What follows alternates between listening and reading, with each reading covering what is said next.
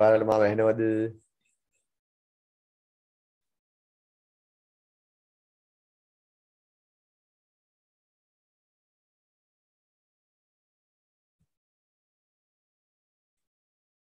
කෝ යාලු? ඇහෙනවද මාව? සර්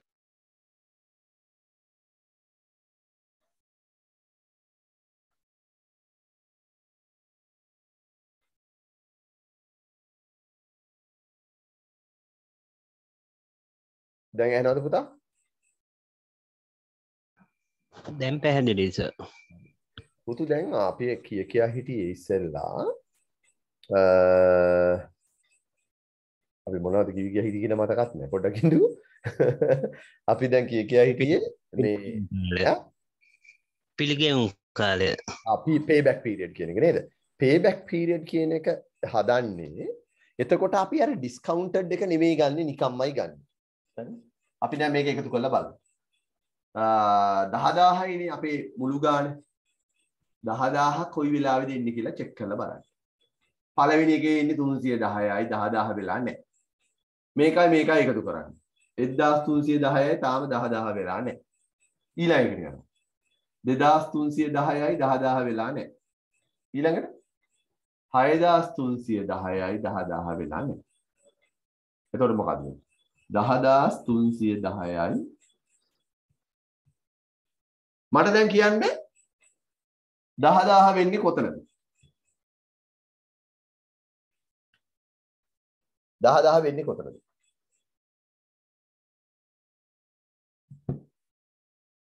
දහදාහ වෙන්නේ අවුරුදු හතරයි අවුරුදු පහයි අතර. ඒ කියන්නේ අවුරුදු හතරට වැඩි පහට අඩු. මේක හරිද කියන්නේ? මේ අපි අපි ආයෝජනය කළේ රුපියල් 10000යි. 10000 එන්නේ අවුරුදු 4 පයින් දුන්නේ. 6310 අවුරුදු 4ක්. පහ දී 10000 සෝරි පහ වෙනකොට 16310. පහ එතකොට පහක්ම යන්නේ නැහැ. එතකොට අපිට කියන්න පුළුවන් අවුරුදු 4යි අවුරුදු 5යි අතර කාලෙකදී.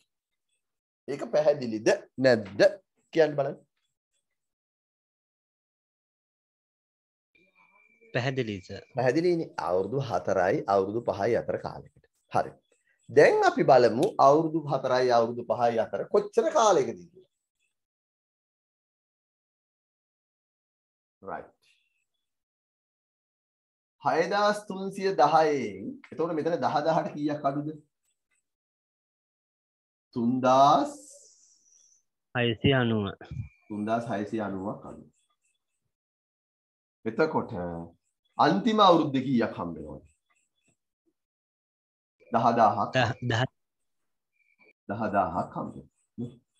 එතකොට අවුරුදු නම් මෙන්න මෙච්චර කාලයක් යනව නේද?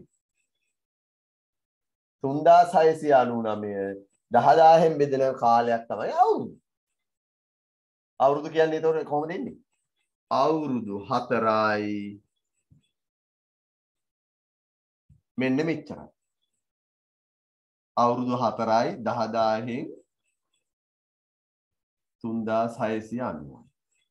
හැබැයි අපි අවුරුදු ඔහොම තියන්නේ නේද පුතා? අපි අවුරුදු වලින් නෙමෙයි කියන්නේ. භාග සංඛ්‍යා කියන්නේ නේ අවුරුදු. අවුරුදු 0.3යි 7යි 2යි එහෙම කියන්නේ නෑ. එහෙනම් මොනවද කියන්නේ? අපි කියන්න ඕනේ මාස වලින්. මාස හරි. මාස වලින් කියන්න නම් කොහොමද වෙන්නේ? සරල ගණිතය. 3000 දොළහෙන් වැඩි කරන්න අනුව වැඩි කරන්න ඕන කීයෙන්ද මාස අවුරුද්දට 12ක් තියෙනවා. 12යි. ඔව් හොඳයි. ତර මේ බින්දුවට මේ බින්දුව කැපුණාම මාස කීයක් එනවද? වැඩි කළා කියන්නේ 369 12න් වැඩි කළා 1000න් බෙදන්නේ.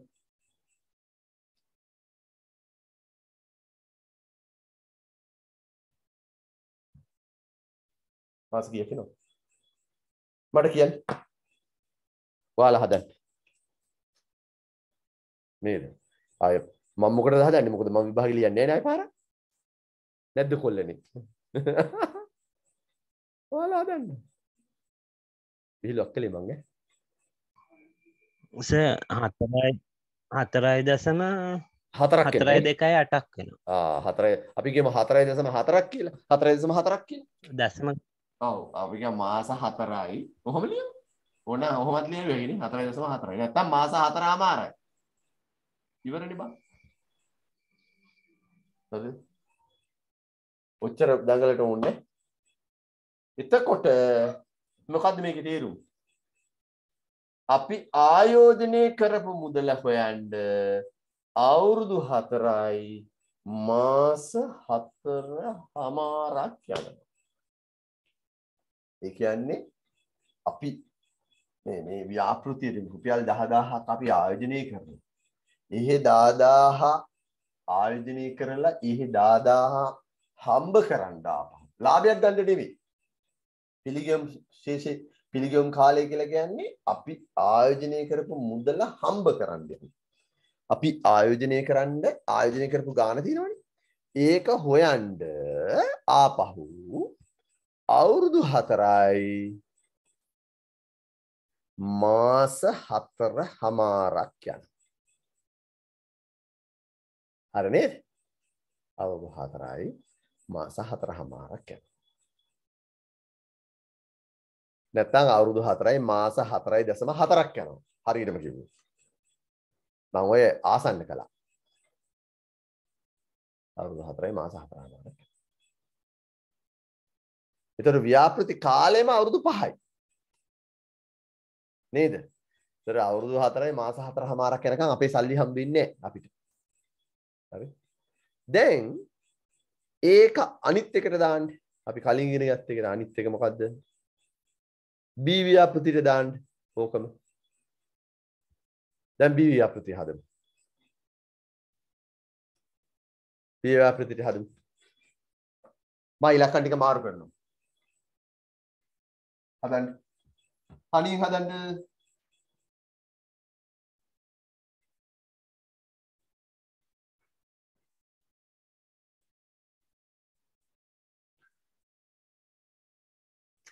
හද්දාහයි. මේක B වල. ඒකට පටන් ගන්නකොට 7000ම තමයි. ඊළඟට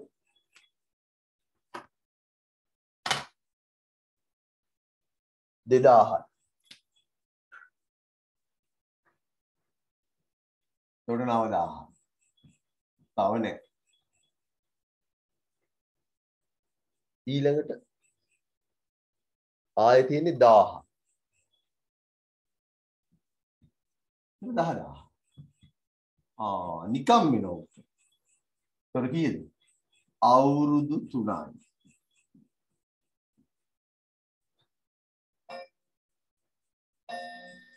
ඊළඟට තියෙන 2000 1000නේ දා සොරි සමාවෙන්න. 2000 නේ. 2000 නම් 11000 නේ පුතා. 11 ඔය 11000 11000. එතකොට එන්නේ කොහොමද? එතකොට මේ දෙක අතර. නේද? එතකොට එන්නේ අවුරුදු දෙකයි මෙතන කීයක් තියෙනවද වෙනස 2000යි. එතකොට අපිට ඕනේ මේ දෙක අතර පරතරය 2000යි 9000 ඉඳන් 10000ට අඩු 1000යි. කොහොම නේ තියෙන්නේ? අවුරුදු ඕනේ මේ බින්දු ටික කැපුණාම අවුරුදු දෙකයි දෙක මාස හම හය මාස 6යි. එහෙම නැත්නම් මාස 6යි. අවුරුදු දෙකයි මාස 6යි.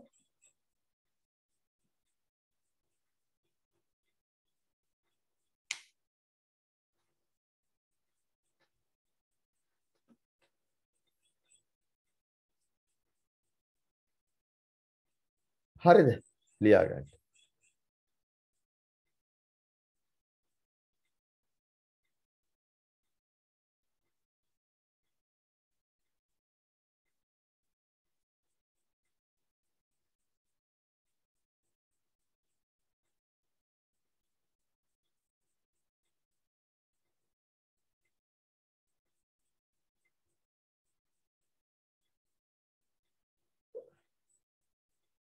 කොල්ලනේ කෙල්ලනේ මට දැන් කියලා දෙන්න.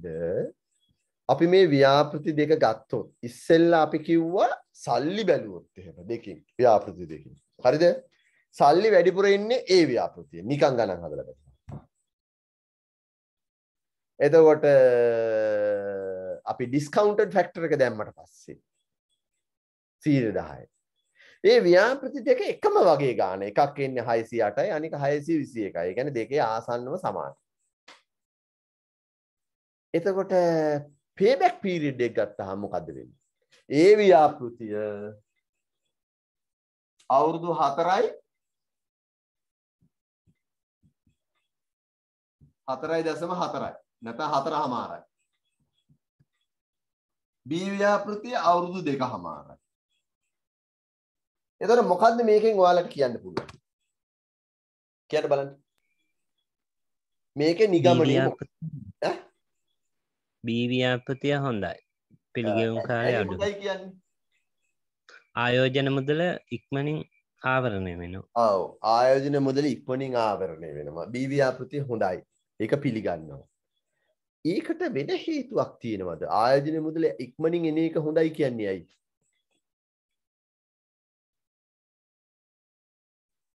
පළවෙනි අවුරුද්දේ මුදල් ලැබීම වැඩීම ඔව්. අද- ඔව්. හරි. පළවෙනි අවුරුද්ද මුදල් ලැබීම වැඩි. ආයෝජන මුදල ඉක්මනින් එනවා කියන එකත් ඇත්ත. B ව්‍යාපෘතිය හොඳයි කියන එකත් ඇත්ත. ඒකට හේතුව මොකක්ද? ටිකක් වැඩිපුර හිතලා කියන්න බැරිද?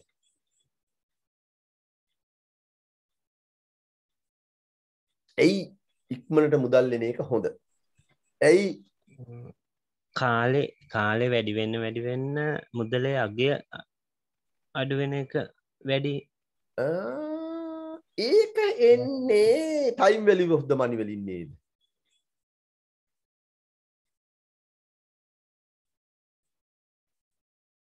ඒක මේකට සම්බන්ධ එන්නේ නෑ නේද? මොකද මේක වෙන එකක්. දැන් ඔයා කියව එක ඇත්ත. කාලේ වැඩි වෙන්න වැඩි වෙන මුදලේ වලිය වටිනාකම අඩු වෙනවා. ඒක නේද අපි කලින් හැදුවේ ගානේ. මේ කොටස නෙමෙයි. අපි ඩිස්කවුන්ටින් ෆැක්ටර් එක දාලා හැදුවේ ඒක නේද? ABV ආකෘති වල. එක වට තේරුණාද? තේරුණා? එතකොට ඒක නෙමෙයි නේද මේ? මේ වෙන එකක් නේද?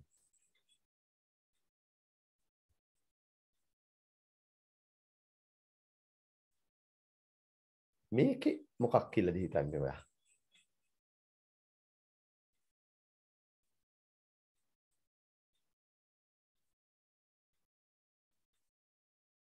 චුට්ටක් කල්පනා කරලා කියන්න. මං හිතනවා ඔයා මේක දන්නවා මේක මේ වචනේ කියුන්නේ. අනික් යාළුවෝ උදව් කරන්න. ඇයි ඉක්මනට සල්ලි හම්බ වෙන එක හොඳ පස්සේ සල්ලි හම්බෙනවට වඩා වගේ කතන්දරයක් නේද මේකේ තියෙන්නේ. හැබැයි මේකේ ඩිස්කවුන්ට් ෆැක්ටර් එක ගණන් හදන්නේ නැහැ.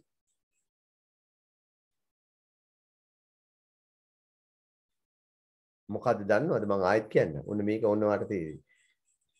මුදල් හම්බ වෙන්න කල් යනකොට ව්‍යාපෘතියක් විනාශ වෙන්න තියෙන ඉඩ වැඩි. ඒ කියන්නේ කල් යනකොට ව්‍යාපෘතියක්.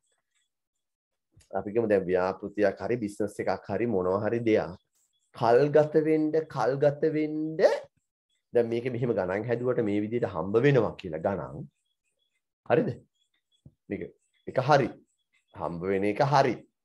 එතකොට මේකේ අවදානම වැඩි. ඒ කියන්නේ ව්‍යාපෘතියක් අසාර්ථක වෙන්න තියෙන අවදානම වැඩි. ඒ හින්දා තමයි කියන්නේ ව්‍යාපෘතියක ඉක්මනින් ප්‍රතිඵල ලැබෙනවා නම් හොඳයි කිය.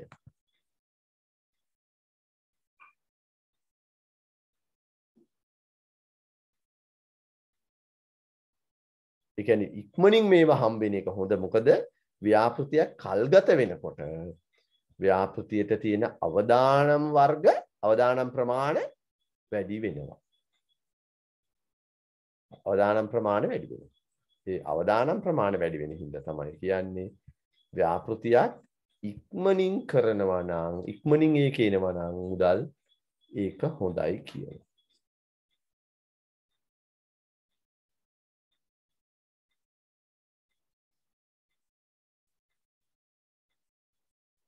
ඒක තේරුණාද? තේරුණා ඔව් එතකොට මේකේ හරි. අපි එහෙනම් තව චුට්ටක් බලමු ඉස්සරහට. පොඩ්ඩක් අර දෙවැනි එකේස අර අවුරුදු දෙකයි මාස හය ගත්ත හැටි ආයෙත් නැවත පොඩ්ඩක් කියන්නකෝ. ආ පැහැදිලි කරන්න. රයිට් ඕකේ ඔන්න අවුරුදු දෙක වෙනකොට 9000 කියන එක හරි නේද? හරි සර්. අවුරුදු 3 වෙනකොට 11000 කියන එකත් හරි නේද? ඒකත් හරි. එතකොට මේ දෙක අතර පරතරය කීයද? 1000 11000 අතර. 2000යි. 2000 10000 වෙන්න තව කොච්චර මදිද? අපේ ටාගට් එක 10000නේ අපිට සල්ලි 10000ක් නේ අපිට ඕනේ. 10000 ගන්න නම් 9000 ඉඳන් තව කීයක් ඕනේද?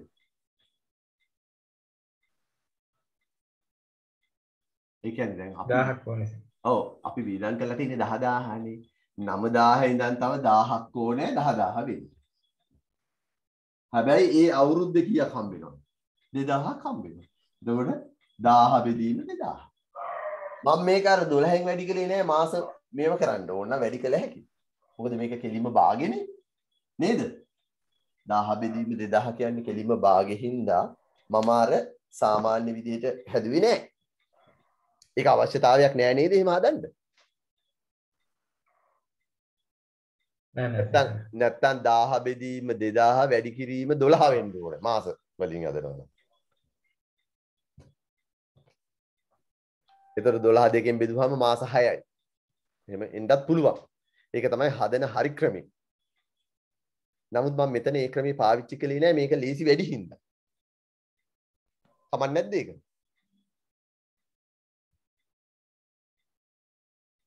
ඒක තේරුන්නේ නැද්ද?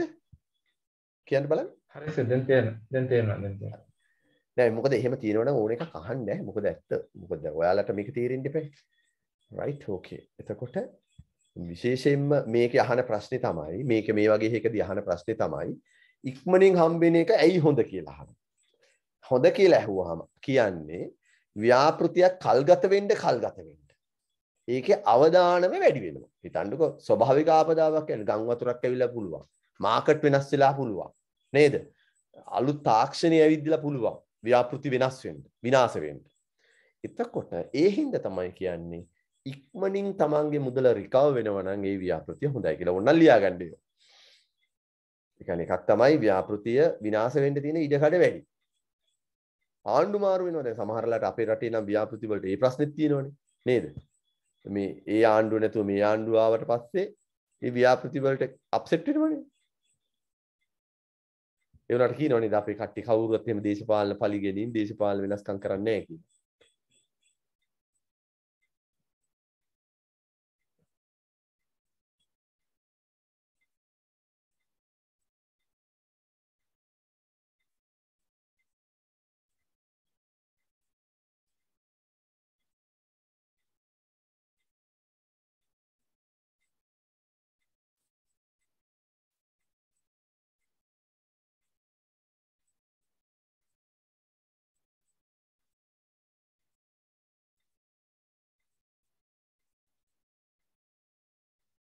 හරි.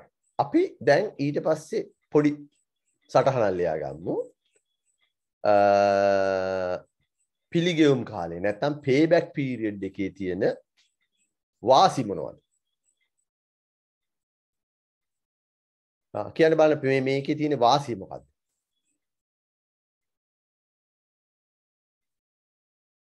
කියන්න පුතා මොකද්ද වාසිය?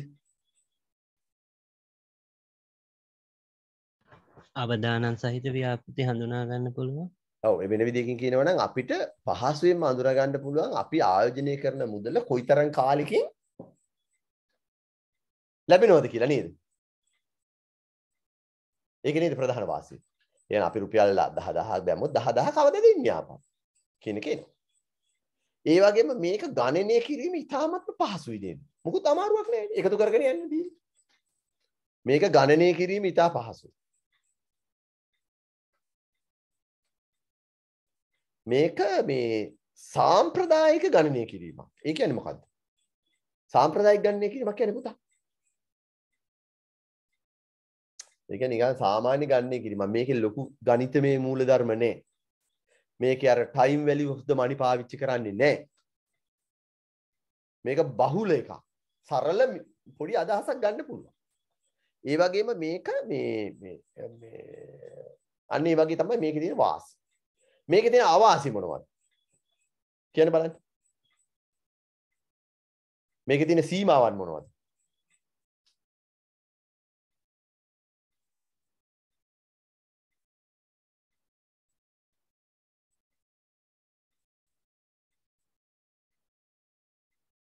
කොල්ලොනේ කෙල්ලෙන්නේ නිකන් හිතලා කියන්නේ මොනවා හිව්වත් මං ඔයාලට හරි කියනවා මොනවද මේකේ තියෙන සීමාවන් අවාසි මොනවද මුදලේ වර්තමානගය ගණන් අලකන්නේ නෑ. ඔන්න හරියටම හරි. එකක් තමයි මුදලේ වර්තමානගේ නැත්තම් මේ වට්ටම් අනුපාතිකයක් සලකන්නේ. ඒ හින්දා මේකේ ලැබෙන්නේ ඇත්තම මුදල වටිනාකම නෙවෙයිනේ ඒ කියන්නේ ඇත්තටම අපිට සල්ලි හම්බුණාට මේකේ ඒකෙන් ඉඳලා මේකේ පොඩි දෝෂයක් තියෙනවා. හරි. තව? තව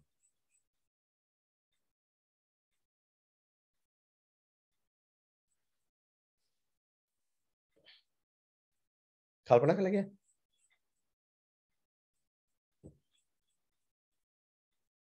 මේ මින්ම සරල වැඩි නැද්ද?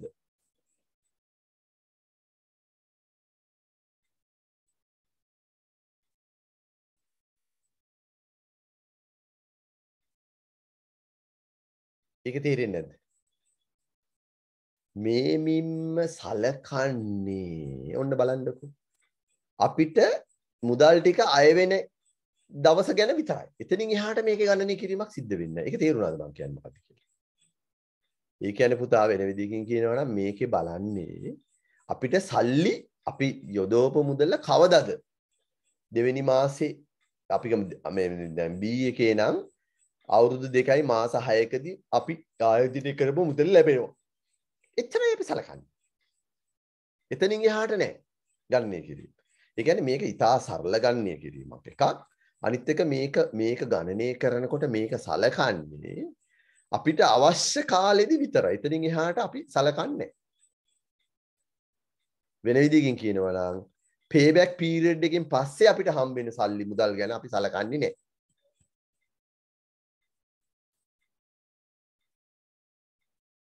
ඒ නිසා මේක සරල වැඩි. අනිත් එක තමයි මේකේ ලාභ පාඩු ගණනය කරන්නේ මේක මේ මේක විතරක් බලලා අපිට මේ ව්‍යාපෘතිය ලාභද පාඩුද කියලා හොයන්න බෑ. ඒ කියන්නේ මේක මේ මේ ක්‍රමයේ මුදල් ලාභ පාඩුවක් ගණනය කරන්නේ මේක එන්නේ තමන් යවපු මුදල එනවද කියලා විතරයි තියෙන්නේ.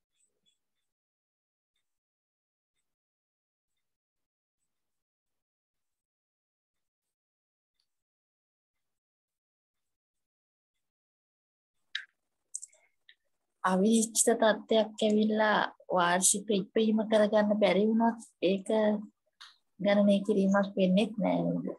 ඔව් ඒ ඔයා කියන එකත් හරි. දැන් අපි ගමු ඔව් මේකේ අවිනිශ්චිත තත්ත්වයක් ඇති වෙලා වෙනස් හැබැයි එනම් පුතා හැම එකටම තියෙනව නේද? මේකට විතරක් නෙවෙයි නේද? අවිනිශ්චිත තත්ත්වයක් කියන එක පේබැක් පීරියඩ් එකටත් විතරක් නෙවෙයි නේද? අපි කියමු මේකටත් ඒක බලපානවා නේද? අපි කලින් කිව්ව එකට උනත් වෙන්න පුළුවන් නේද?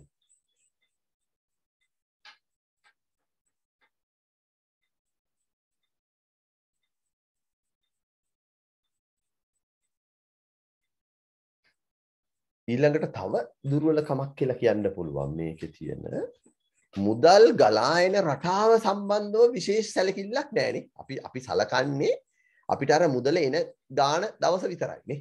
ඒ කියන්නේ දැන් අපි ගමු දෙවෙනි අවුරුද්දේ අවුරුදු දෙකයි මාස 6යි වෙනකොට අපි හිතනවා හරි කියලා. දැන් අපි කියමු පළවෙනි අවුරුද්දේ 7000ක් නැතුව. දැන් අපි මේ ගානේ හැටියට පළවෙනි අවුරුද්දේ තියෙන අපි B එක ගමුකෝ. පළවෙනි අවුරුද්දේ තියෙන 7000යි 2000යි 2000යි. අපි කියමු 2000යි 7000යි 2000යි තිබ්බා කියලා. ඒත් මේකේ උත්තරේ එකයි. ඒ කියන්නේ මුදල් ගලායන රටාව අනුව මේකේ සැලකිල්ලක් එහෙම ලොකුවට දැනෙන්නේ නැහැ. ඒකත් පොඩි පොඩි මේකේ තියෙන දුර්වලකමක්. රයිට්. ওই ටික ඇති. සර් වාසිටිකායි කියන්නකෝ වාසිනන් තියෙන පුතා කීපයක්ම එකක් තමයි සරලයි. ඉතා සරලයි. අනිත් එක තමයි පහසුවෙන් ගණනය කරන්න පුළුවන්. වැඩි දැනුමක් ඕන්නේ. ඊළඟට මේක ජනප්‍රිය ක්‍රමයක්. මේක හරි ජනප්‍රියයි. මට සල්ලි ටික කවදද හම්බෙන්නේ? මම ලක්ෂයක් දැම්ම ලක්ෂ කවදද ඉන්නේ? ටක් ගාලා බලන්න පුළුවන්. ඊළඟට මේක මේ බහුලව ව්‍යාපෘති කරනකොට ව්‍යාපාර කරනකොට පාවිච්චි කරනවා. මේකෙන් ව්‍යාපෘතිය සම්බන්ධ දල අදහසක් ගන්න පුළුවන්. හොඳ අදහසක් නෙවෙයි. නිකන් බේසික් අයිඩියා එකක් ගන්න හොඳයි. බේසික් අයිඩියා එකක් ගන්න හොඳයි. තාම මොනවද මං කිව්වේ? මට දැන් මතකත් නෑ අනේ කිව්වේ මොනවද කියලා.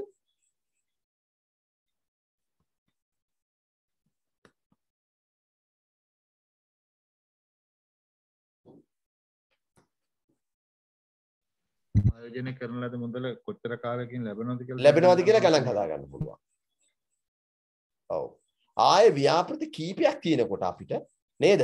ඉක්මනින් කෝකෙන්ද හම්බෙන්නේ කියලා චෙක් කරගන්නත් පුළුවන් නේ. එක ව්‍යාපෘතියක් නැතුව ව්‍යාපෘති 3 4ක් තියෙනකොට ඉක්මනට අපිට මේ ව්‍යාපෘතිය හොයාගන්න නම් ඒකත් හොඳයි නේ. ඔන්න ඔය වගේ වාසි ටිකක් තියෙනවා මේකේ.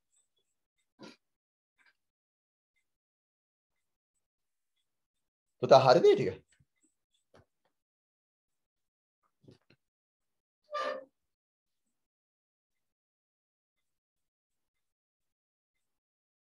right අපි එහෙනම්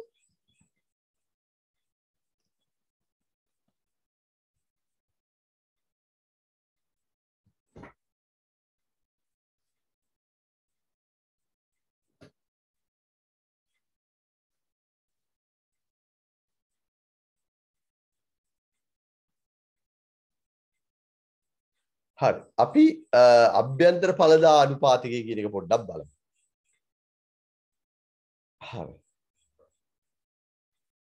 අභ්‍යන්තර ඵලදා අනුපාතිකය කියලා කියන්නේ යම් ව්‍යාපෘතියකින් ඇත්තටම කොච්චර ප්‍රමාණයක් හම්බ වෙනවද කියන එක ගණන් හදන ක්‍රමය.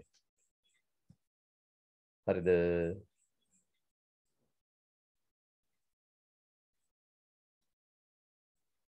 අභ්‍යන්තර ඵලදා අනුපාතිකය. වෙන විදිහකින් කියනවා නම් මොන වට්ටම් අනුපාතිකයේ යටතේ බිඳුව එනවද කියන බල එක තමයි කියන්නේ. නැත්තම් වෙන විදිහකින් කියනවා නම්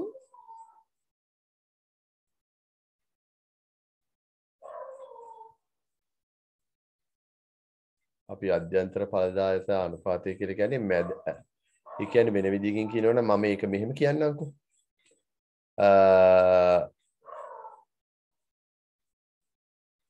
දැන් මොකක් හරි ව්‍යාපෘතියක අභ්‍යන්තර ඵලදායක අනුපාතය 115යි කියන්නේ ඒ ව්‍යාපෘතියෙන් වට්ටම් කළාට පස්සේ ඔක්කොම දාලාම 115 දී NPV බිඳුවයි කියන්නේ.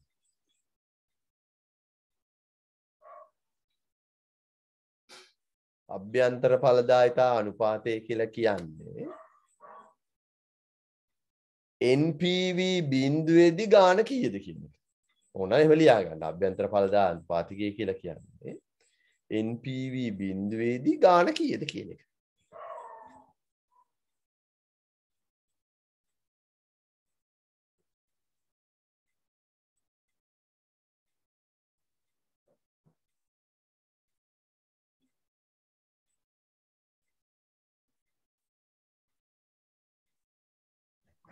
NPV බින්දුවේදී වට්ටන් අනුපාති කියන වට්ටම් අනුපාතිකය කීයද කියන එක තමයි අභ්‍යන්තර ඵලදායිතා අනුපාතිකය කියලා කියන්නේ.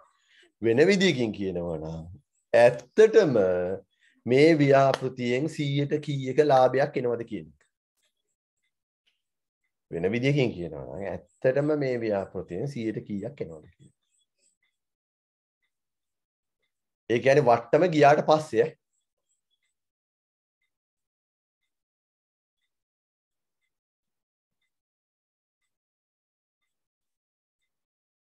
අපි අර කලින් ගානම දාමු. කලින් ගානම ගමු.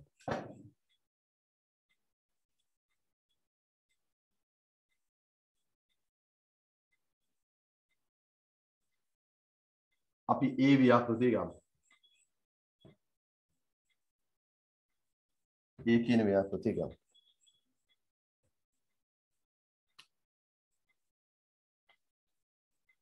අවුරුදු බිඳුවේදී මේක ඍණ 10000යි වට්ටම් අනුපාතික 110 දී 1.0යි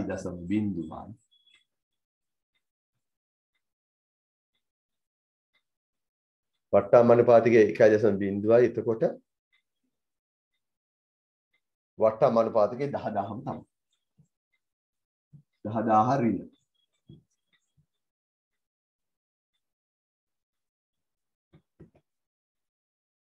අවුරුද්දේදී මේ ටික අපි කලින් හදලා තියෙන්නේ. 909යි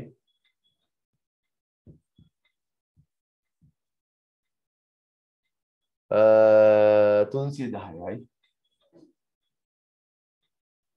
අවුරුදු දෙකේදී දාහයි. අටසිය විසිහයයි. අවුරුදු තුනේදී දාහයි හත්සිය පනස් එකයි අවුරුදු හතරෙදී හයසිය තිස්සටයි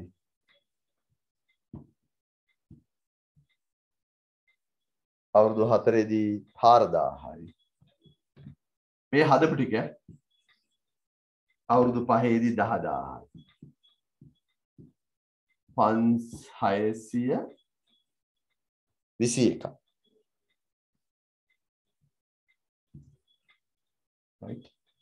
එතකොට යාපු ගණන් ටික ඔක්කොම එකතු වුණාම එනවා 10621. නැත්නම් 621යි එන්නේ.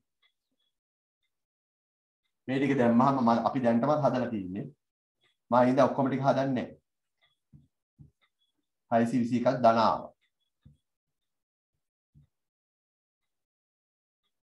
ඊළඟ කොටසේ දාගන්න වට්ටම් අනුපාතකයේ 114. ඒක තමයි ඊළඟ කෑම. 14.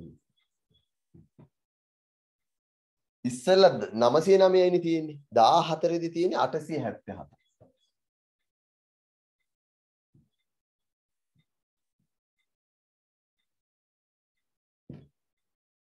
14 දී තියෙන්නේ අවුරුදු දෙකක් ගියාම 769 දැන් හොගාලා අඩු වෙනවා අවුරුදු 3 දී 675 අවුරුදු හතරදී පන්සිය අනු දෙක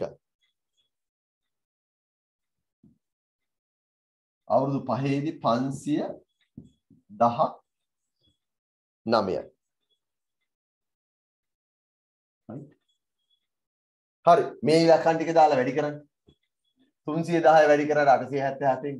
දාහ වැඩි කරන්න හත්සිය හැට නමේ දාහ වැඩි කරන්න හත්සිය හයිසිය හැත්ත පහෙන්. හාරදහ වැඩි කරන්න පන්සි අනු දෙකින් දහදාහ වැඩි කරන්න පන්සි දහනම බල්ල ගණන් ටික කියන්න.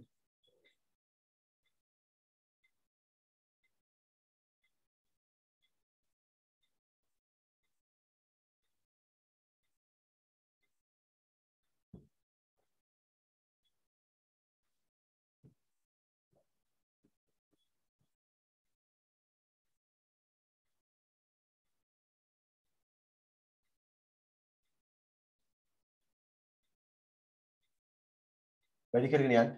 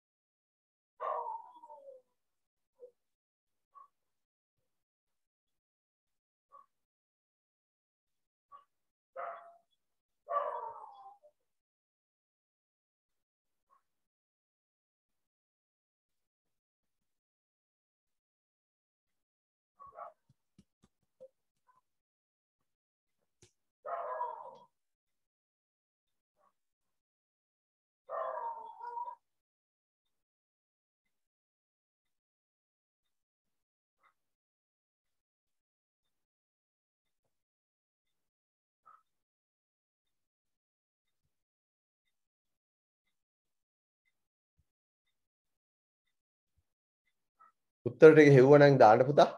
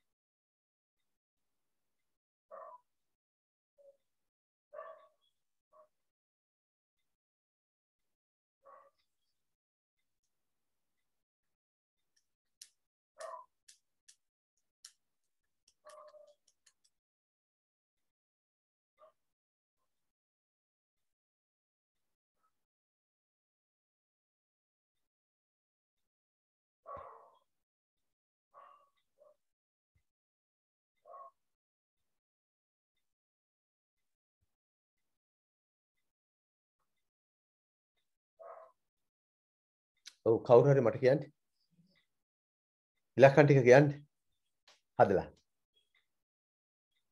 නැත්නම් මං ඉලක්කම් දුන්නොත් ඔයාට ඕගොල්ලන්ට ඒකේ ප්‍රයෝජනයක් එච්චර නෑ ඒකයි.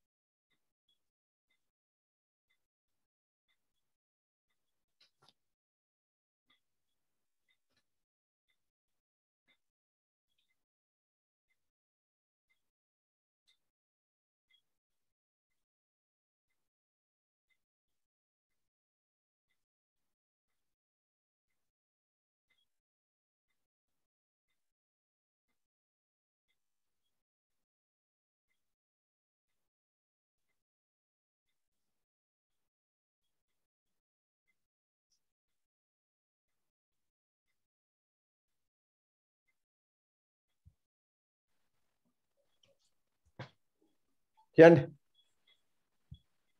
නෑසර් මගේ සික්නල් නැති වුණා. මට ගණන්ටික ලියා ගන්න බැරි වුණා. එහෙමදිනේ ගණන් ටික අර ටිකමයි. වට? අනුපාත වෙනස්. වට්ටම් අනුපාතයේ 10 කියන එකේ අරකමයි ගන්න. 14 තමයි අනිත් එක. ඒ කියන්නේ ඒක අර පළවෙනි කෑල්ලේ හදන්න දෙයක් නෑ. හරිද? ඉන්න මං කියන්න 14 කියන එකේ අ, නින්ද මං 14 කියන ඉලක්කම් ටික කියන්න. 14 එහෙනම් මම කියන්නද? අ, පළවෙනි එකේ තියෙන්නේ 1 10000ම නෙරින ඊළඟට තියෙන්නේ නම් මම ලියනවා ඈ. දශම 877 දශම 877 කියන්නේ 271යි නේද? බලන්න ගණන් කරනවා. 310 වැඩි කරන්න දශම 877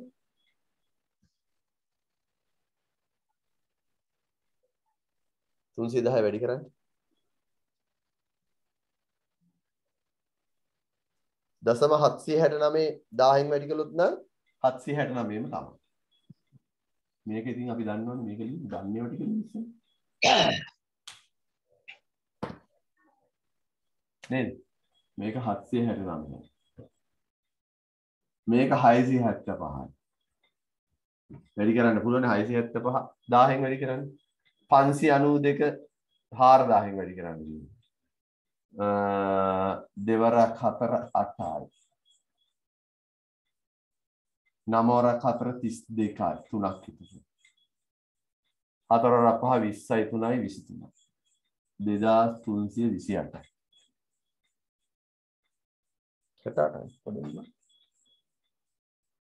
අටවරක් හතර තිස් දෙකෙන් වරදුගන්න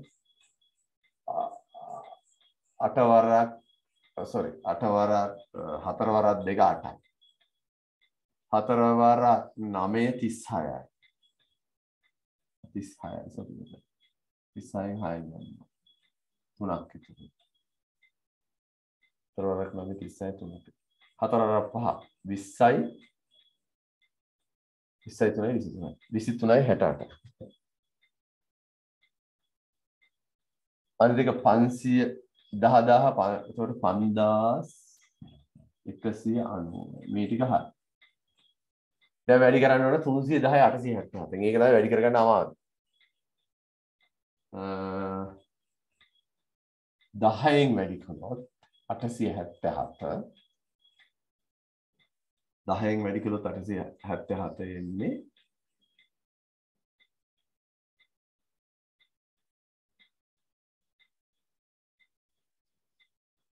8.77 බින්දු දෙකක් දැම්මා. 300 නේ වැඩි කරන්න? 266.867 නේ 266.87යි 266යි නේ? 266.867 8යි 7යි. ඒ කියන්නේ පුතා මේ ඔක්කොම වැඩි කළාමද? නෑසර් මේ අටසිය හැත්තහත තුන්සියද දෙසි හැට හතයි දෙසම කිය දෙසි හැට හය දෙසම කීද පුතා අටයි හතයි අටයි හතයි බින්දුවක්කාව හරි හතයි හතයි දා හතරයි අටයි අටයි දාසයයි ටය දාතර ටය දාතරක පහලවයි එන්න කිය දෙසිය හැත්ත පහක්ද වැරදිද දසම අටයි හතයි බින්දු කියද පුතා එන්නේ දෙසිය හැත්ත එකයි දසම අටයි හතයි දෙසිය හැත්ත එකයි අපි දෙසිය හැත්ත එකයි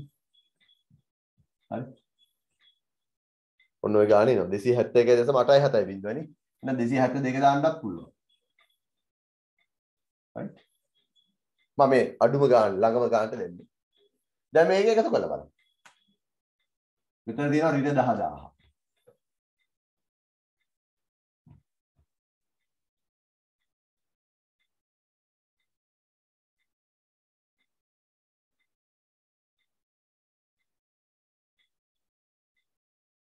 එකතු කළාම කීයක්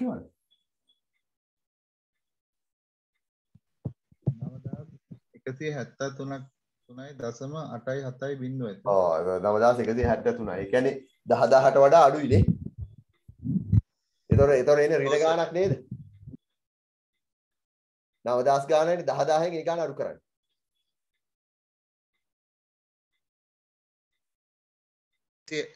හත්සේ විසි අය දසම එකයි තුනයි බින්දුව ආ එත අපි 726ක් කියමු ඍණ. හරි. එතකොට කලින් එකේ ධන 621යි මෙතන අනික ඍණ 726යි. හරිනේ?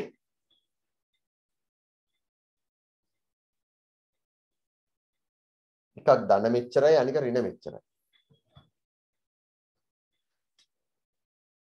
දැන් මේ ඉලක්කම් දෙක දැක්කහම ඔයාට මොකද්ද කියන්න පුළුවන්?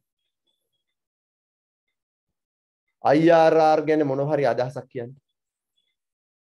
වට්ටම් අනුපාතකයේ 10 තියෙද්දී NPV 621යි. වට්ටම් අනුපාතකයේ 14 තියෙද්දී NPV ඍණ 726යි. දැන් ඕගොල්ලෝ මට මොනවා හරි කියන්න IRR ගැන. වට්ටන් අනුපාතක දහය හෝ දහයත් දාහතරත් අතර. NPV බිඳුව හරියටම හරි.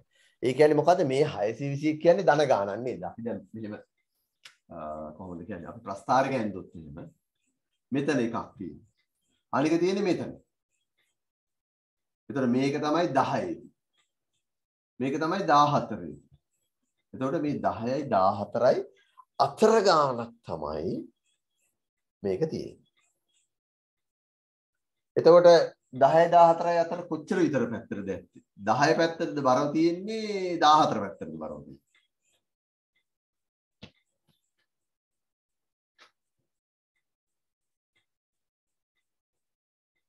දාහතර පැත්තට නේස 14 පැත්තටද බරව තියෙන්නේ 10 පැත්තටද බරව තියෙන්නේ ශ්‍රීන බින්දුව ඉලක්කම් දෙකෙන් කොයි පැත් කොයි ඉලක්කම්ද ලොකු? 621ද ලොකු? 726ද ලොකු? හයසේ විසි එක. ඈ? ඒ ඔයා කියන්නේ මේ ධන 621යි ඍණ 726 කියලා මං කියන්නේ ධන ඍණ අයින් කරලා මාපාංක ගත්තාම. ඉලක්කම් දෙකෙන් කොයි ඉලක්කමද ලොකු? හස්සේ විසි හය 726 ලොකු නේද? ඔව්. ඒ පැත්ත ලොකුයි කියන්නේ ඒ පැත්තට නෙවෙයි තියෙන්නේ. අනිත් පැත්තට. ඒ කියන්නේ දැන් දහයි පැත්තට. ඍණ පැත්ත ඍණ ඉලක්කම ලොකුයිනේ. එතකොට ඍණ ඉලක්කම ලොකුයි කියන්නේ ඍණ පැත්තට වැඩි. ඍණ පැත්තට නෙවෙයි තියෙන්නේ. එතකොට ඍණ ඉලක්කම පැත්තට නෙවෙයි එතකොට ඒ කියන්නේ ඍ- ඍණ වැඩි කියන්නේ හොඳ නෑනේ නේද? ඒ කියන්නේ අනිත් පැත්තට තියෙන්නේ. එහෙමයි ගණන් හදන්නේ. ඒ කියන්නේ එතකොට තියෙන්නේ 10 ඒ කියන්නේ 10 පැත්තට තමයි බරව තියෙන්නේ. දැන් අපි කියමු ඍණ 10ක් විතර තිබ්බා කියලා. එතකොට ඍණ ඉලක්කම් පුංචිනේ නේද? එතකොට ඍණ ඉලක්කම් පුංචි හින්දා ඒ පැත්තට තමයි බරව තියෙන්නේ. අනිත් පැත්තට මේ කියන්නේ ඒක තේරුණා? දන්නේ නැටි වැඩි අවුල්ද මන්දා දැන් මේක ඉලක්කම් දෙක ගත්තොත් 621යි 726යි ගත්තොත් 726 තමයි ලොකු. ඒ කියන්නේ ඍණ පැත්තට තියෙන ඉලක්කම ලොකුයි. ඍණ ඉල පැත්තට තියෙන ඉලක්කම ලොකු වුණොත් ඍණ පැත්තට නෙවෙයි තියෙන්නේ අනිත් පැත්තට. ඒ කියන්නේ ඒ ඉලක්කම ලොකු නම් තියෙන්නේ ධන පැත්තට බරව තමයි තියෙන්නේ. ඒ කියන්නේ 10 පැත්තට බරව තමයි තියෙන්නේ. ඍණ ඉලක්කම් පුංචි වුණොත් ඍණ 15 ඍණ 20 ඍණ 40 ඍණ 200 තිබ්බා කියන්නකො 721ත් එක්ක එතකොට ඍණ ඉලක්කම ලොකුයි ඍණ ඉලක්කම් පොඩි එතකොට ඍණ ඉලක්කම් පොඩි වුණාම 14 පැත්තට බලව තමයි තියෙන්නේ. ඒක එච්චර හිතන්න යන්න එපා. ඒක තේරුම් නැතත් කමන්නේ. හරි? ඒකට හැබැයි මෙන්න මෙහෙම තියෙනවා අ අපි පොඩි මේකේ තියෙනවා පොඩි සූත්‍රයක්. ඒක ලියා ගන්න. සූත්‍රය තමයි IRR සමානයි. A එකතු කිරීම.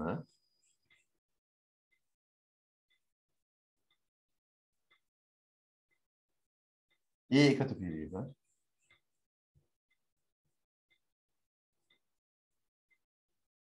P බෙදීම. P ධන N.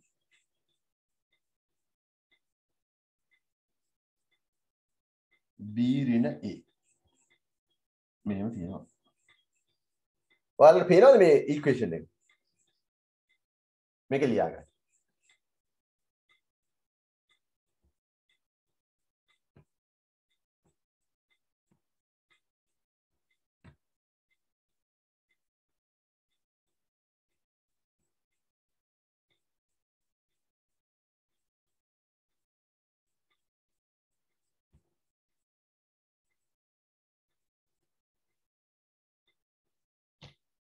මේක A කියන්නේ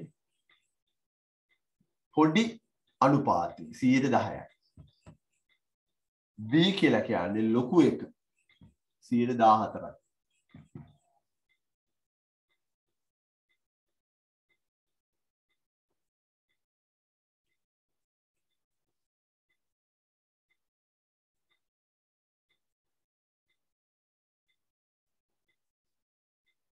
මේක P කියලා කියන්නේ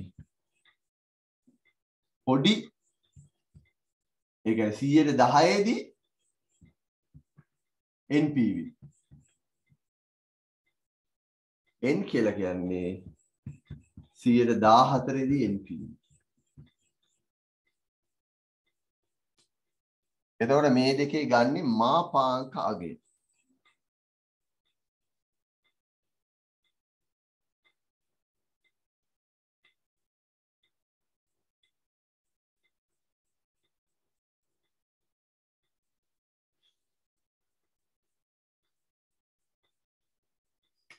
සියයට දහය NPV කියලා කියන්නේ හයසිය විසි එකයි.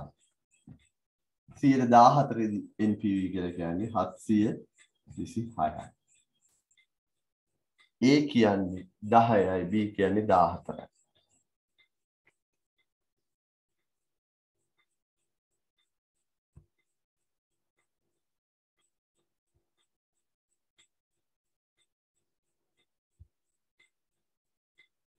මේ ටික ලියාගන්න පුළුවන්ද පුතා? ලියාගන්නකෝ. ලියාගෙන මේක ආදේශ කරන්න. මේක ලියාගත්තද? නැත්නම් මේක ලියාගන්න පුළුවන් වුණාද? IRR සමානයි A ධන P බෙදීම P ධන N N වල මාපාංක කියලා මෙහෙම දාගන්න. B ඍණ A. P 110 ද කියලා P කියලා කියන්නේ 110 ද ගන්න. NPV. ඒක අපේ එකේ හැටියට 621යි. N කියලා කියන්නේ 114. අපේ ඍණ 726යි. B කියලා කියන්නේ A කියලා කියන්නේ 10යි B කියන්නේ 14යි. සායත් පොඩ්ඩක් පැහැදිලි කරන්න ඒ කියන්නේ මොකද්ද A කියලා කියන්නේ පුංචි වට්ටම් අනුපාතය. ඒ කියලා කියන්නේ අර වට්ටම් අනුපාත දෙකෙන් පොඩි එක. ඒ කියලා කියන්නේ වට්ටම් අනුපාත දෙකෙන් පොඩි වට්ටම් අනුපාතය.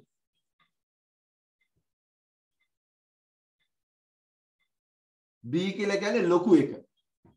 ලොකු අනුපාතය.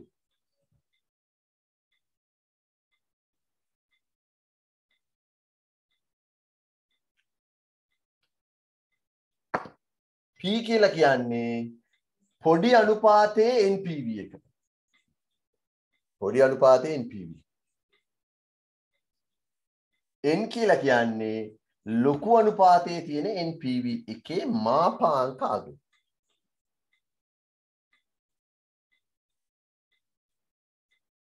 ඔයාලා අහලා තියෙනවද මාපාංකය කියන වචනේ තේරුම මොකක්ද කියලා? කියන්න බලන්න. දන්නවනම් කවුරු හරි. මාපාංක අගය කියන්නේ මොකක්ද? දැන් මාපාංක කිව්වහම ඔක්කොම බය වෙන්න එපා ඈ.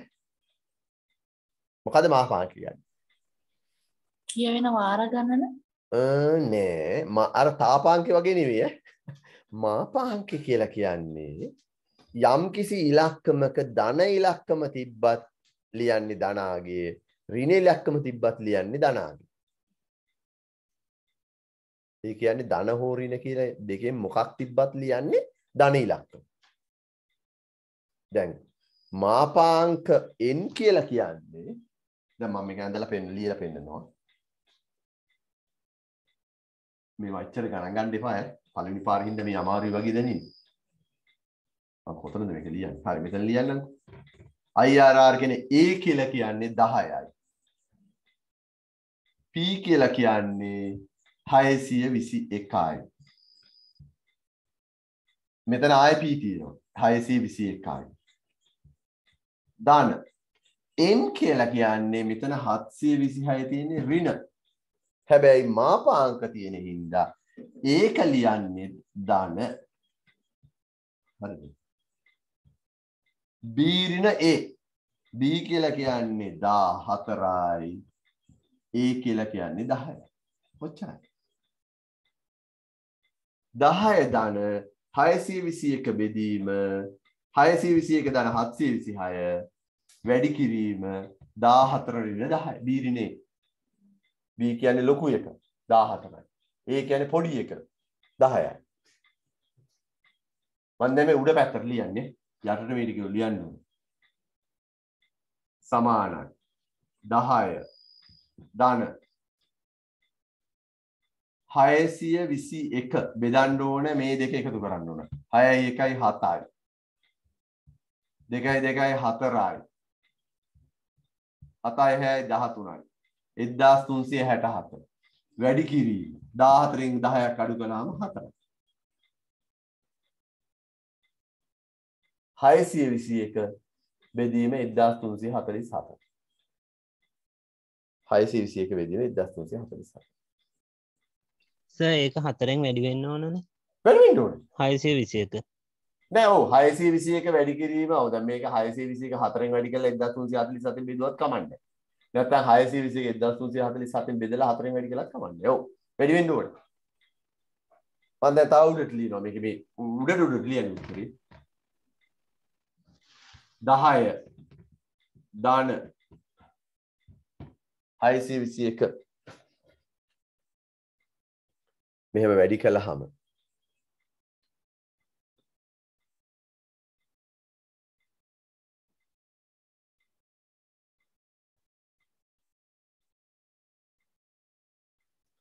එකයි දසම අටයි හතරයි වැඩි කළ බලන්න සමානයි එකොළහයි දසම අටයි ඉස්සලා මේක ඇඳ ගන්නකො ලියා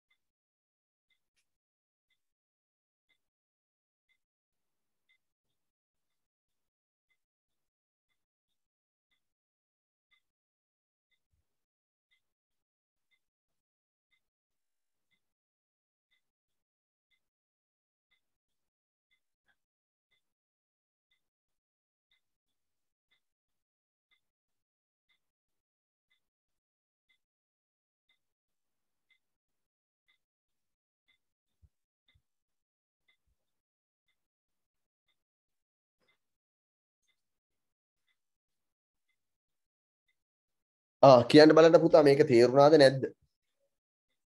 තව පාරක් කියලා දෙන්නද? කොල්ලනේ කෙල්ලනේ. ඔව් සර් තව පාරක් කියලා දෙන්න. හා හරි. ඔන්න. මම ආයෙත් මේ ටික ඔක්කොම මකනවා. right. මම මුලින් ඉඳන් ලියනවා අපි. IRR සමානයි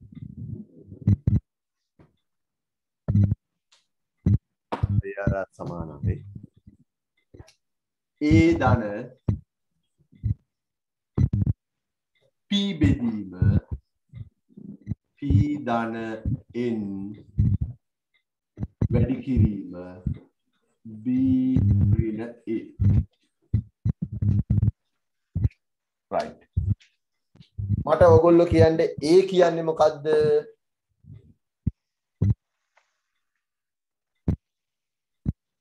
කොල්ලනේ කෙල්ලනේ කියන්නේ? මොකද්ද ඒ කියන්නේ? කුඩාම මට්ටම් අනුපාතය. ආ. කුඩා වට්ටම් අනුපාතය. කුඩා වට්ටම් අනුපාතය කියන්නේ ඒ කීයද? අපේ ගානේ හැටියට. කීයද? 10යි අපි ඒතර නිකම්ම නිකම්ම 10 තමයි දාන්නේ. 100 ගාන කියන මම කියන උත්තරෙන් 100 ගාන. හරි? 10යි එතකොට B කීයද? B කීයද? කියන්න. 621යි. B? B B B B. මං ගන්නේ B A B ඈ P නෙමෙයි ඇහුවේ. B කියන්නේ ලොකු වට්ටම් අනුපාතය. දා හතරයි. P කීයද? P කීයද? 621යි. P 621යි N කීයද? N. 726යි. 726යි 726යි ඇත්තටම 726යි ඍණනේ හත්සිය විසිහය රින කොහොමද තියෙන්නේ දැන් අපි ওই ටික දාමු. මොන මම මැකුව ඔක්කොම ටික. ඔන්න මම තව පාරක් ලියන්නම්කො ලේසි වෙන්න IRR සමානයි. A ධන P බෙදීම P ධන N. N වල මාපාංකය වැඩි කිරීම B ඍණ A. ඔන්න දාමු. A කීයද? 10යි එකතු කිරීම P කීයද? 621යි බෙදීම P ධනෙන්. P කියන්නේ 621යි ධන N. N කියන්නේ 726යි 726 තියෙන්නේ ඍණ. 726 තියෙන්නේ ඍණ ඒ වුණාට මාපාන්ත කියලා තියලා තින්දා ඒක ලියන්නේ ධන විදිහට ධන 726ක් විදිහට තමයි ලියන්නේ මෙහෙම ලියන්නේ අපි ඒ හින්දා ඒක එහෙම ලියනවා ඊළඟ B කියන්නේ 14යි ලොකු අනුපාතය ඍණ A කියන්නේ පොඩි අනුපාතය 10යි. උත්තරේ එන්නේ 10. ආ මේක හදන්න තනියෙන්. මෙතනින් එහාට. මෙතනින් එහාට තනියෙන් හදන්න. විනාඩි දෙක තුනක් දෙන්න. තනියෙන් හදන්න.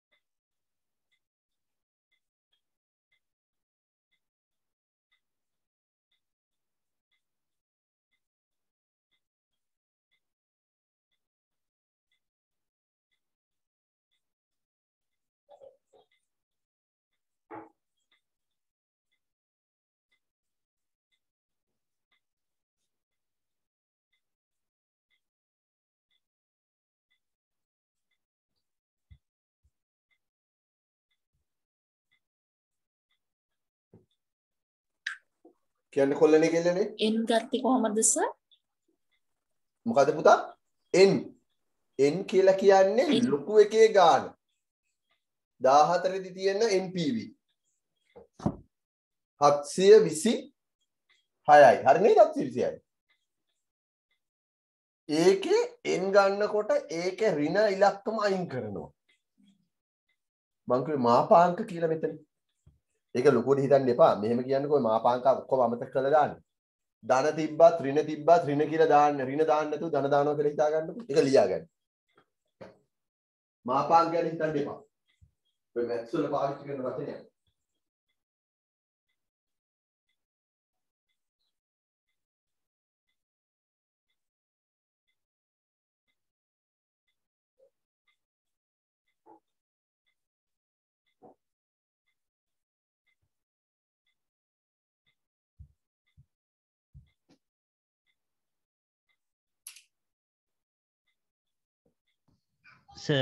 ඔව් පුතා. දහය ධන හරි. දෙදා සාරසය අසූ හතරක් වෙන වරක හතරෙන් වැඩි කරහම හ්ම්. 10 ධන මේ ටික වැඩි කළාම 2400 84 බෙදීම. හතරයි එදදාස් තුන්සිය හතලිස් හත 1347යි එතකොට කොහොමද එන්නේ? ලෙසමට ඔව්. එනවා මෙතන 1 ගානක් එනවා නේද? ඕ අටයි හතර. එකයි දසම අටයි හතර.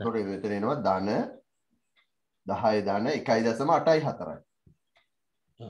ඒ කියන්නේ 11.8යි අටයි හතර. 4යි මේක තමයි 100ට ගන්න එතකොට බින්දුවේදී NPV බින්දුවේදී 11.84යි IRR එකට මං කිව්වා නේද NPV බිඳුවයි කියලා. එතකොට මේකේ තේරුම තමයි මේ ව්‍යාපෘතියෙන් ඇත්තටම 100ට 11.84ක ලාභයක් එනවා. 100ට 11.84ක්.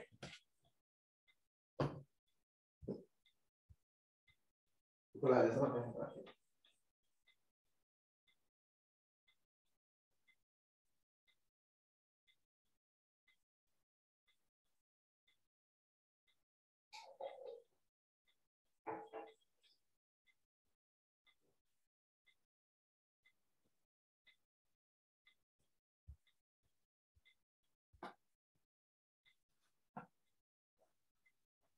පුතාට මං ඉස්සෙල්ලා ම- මතක් කරන්න.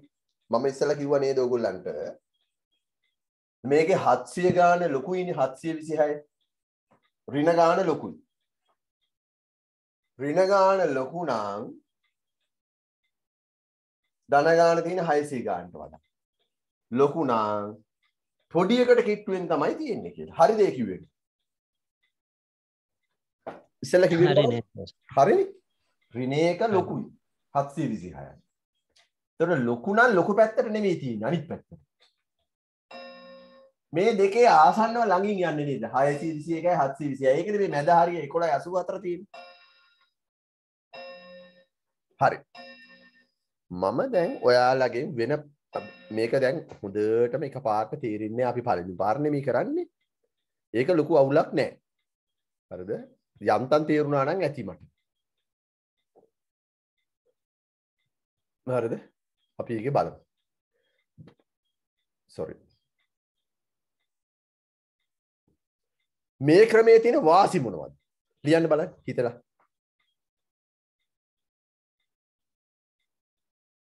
මේ ක්‍රමයේ තියෙන වාසි මොනවද?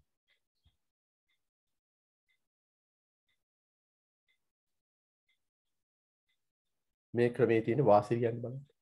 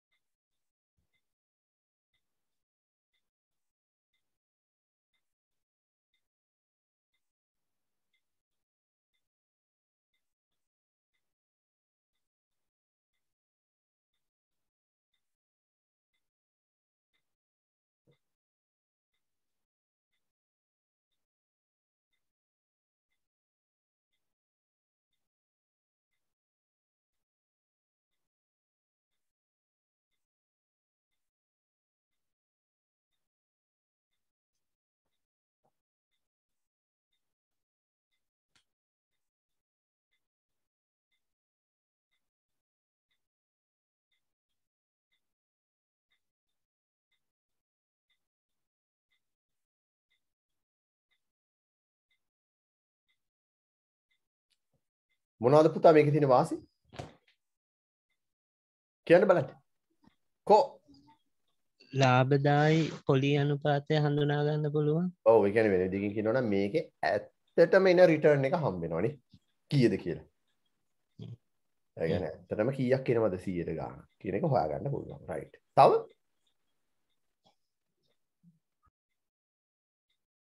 මේක ගණනය කරන්න මොකද්ද? පාවිච්චි කරන්න. වට්ටම් අනුපාතකයේ යොදා ගන්න හින්දා ලැබෙන උත්තරේ ඉතා නිවැරදි. හරිද? ඒ කියන්නේ වට්ටම් අනුපාතකය පාවිච්චි කරනවානේ අපි. ඒ කියන්නේ අර අපි ඉස්සෙල්ලා මොකද්ද කියන්නේ? පේබැක් පීරියඩ් එකට එහෙම ගත්තේ නෑ නේද වට්ටම් අනුපාතකය.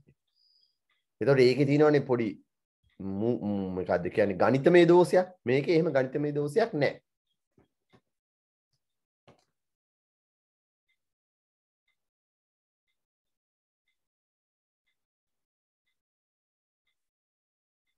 මේක ඉතාමත්ම වැදගත්. මොකක්ද කියන්නේ? මූල්‍ය ගැයීම් ක්‍රමයක්. ඒ කියන්නේ අපි සාමාන්‍යයෙන් අපේ මූල්‍ය ගැයීම් ක්‍රමවල තාම වැදගත් එක IRR කියන්නේ දැන් payback period කියන්නේ එහෙම එච්චර වැදගත් මූල්‍ය ක්‍රමයක් නෙවෙයි. ඒක පහසු ක්‍රමයක්. NPV සහ IRR කියන්නේ ඉතා වැදගත් ක්‍රමයක්. එවැන් හොඳ අදහසක් එනවා. රයිට් මේවා ලියා ගන්න මේක ඉතාල වැදගත් ක්‍රමයක්.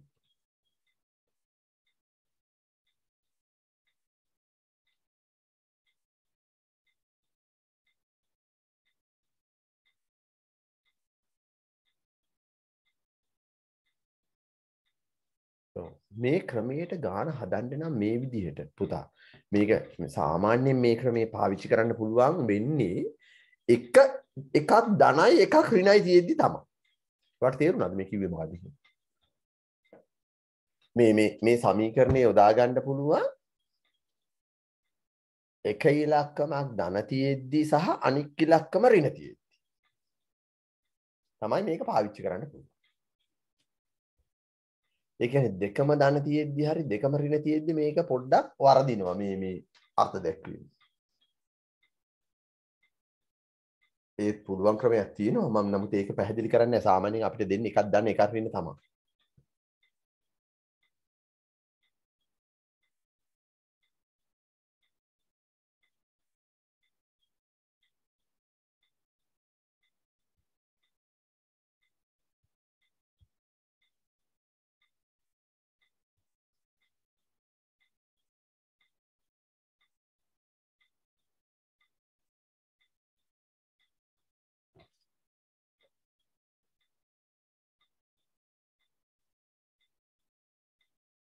හරි මම පුංචි ප්‍රශ්නයක් දෙන්නම් ඔයාලට අදහසක් ගන්න. right. අපි අපි මේ ඉහත උදාහරණය දැන් අපි ලියමු දැන් අපි මේ ඉගෙන ගත්ත ප්‍රශ්න ගමු. දැන් අප ඉහත ඒ උදාහරණය ගනිමු. ඒ උදාහරණය ගනිමු. එහිදී මෙම ව්‍යාපෘතිය කිරීම සඳහා ඔබ මුදල් ණයට ගැනීම සඳහා බැංකු වකට ගියේ යයි සිතන්න මුදල් ණයට ගැනීම සඳහා මේ ව්‍යාපෘති කිරීම සඳහා මුදල් ණයට ගැනීමට බැංකුවට ගියේ යයි සිතන්න. එහිදී එක් බැංකුවක් එක් බැංකුවක් සීයට නමයයි දසම පහක අනුපාතිකයකට සීයට නමය දසම් පහක පොලි අනුපාතිකයකට මුදල් ලබාදීමට එකඟ වූයේ යයි සිතමු.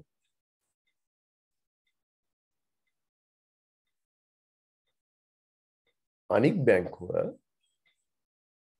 සීයට දහතුනයි දසම පහක පොලි අනුපාතිකයකට සීයට දහතුනයි දසම් පහක පොලි අනුපාතිකයකට ණය ලබා දීමට ඉදිරිපත් වූ අයයි සිතන්න.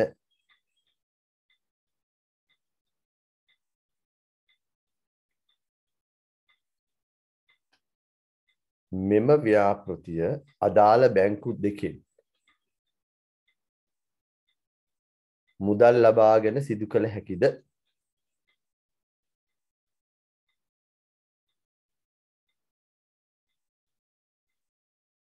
හේතු දක්වමින් පිළිතුර පැහැදිලි කරන්න.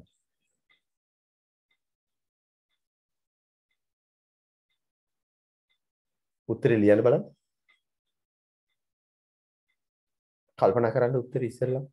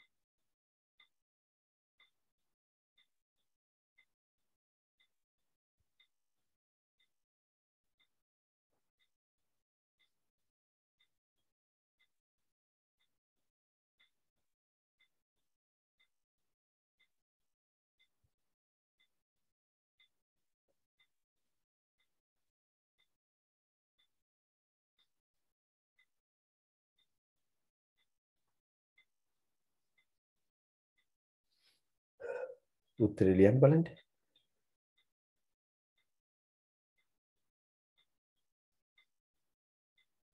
විනාඩි දෙක තුනක් හිතලා මට උත්තරේ කියන්න බලන්න කවුරු හරි.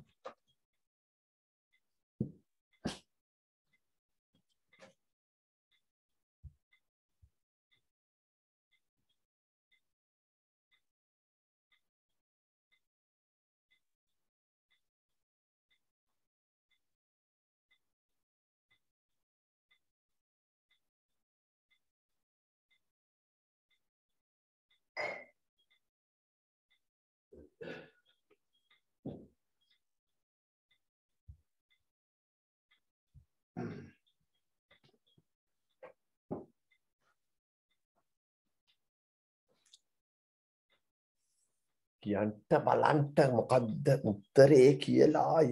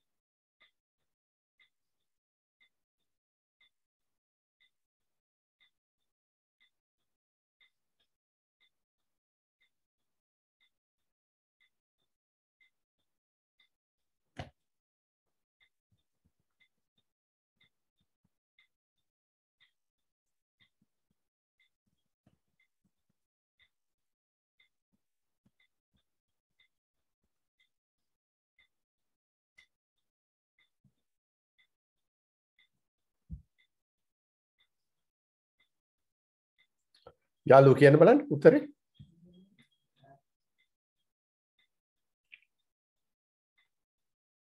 කියන්ට බලන්ට හිතන විදියට මොකක්ද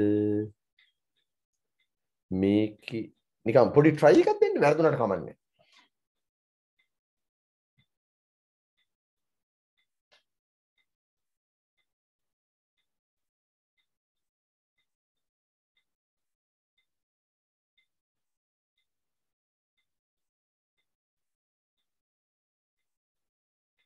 කියන්න බලන්න.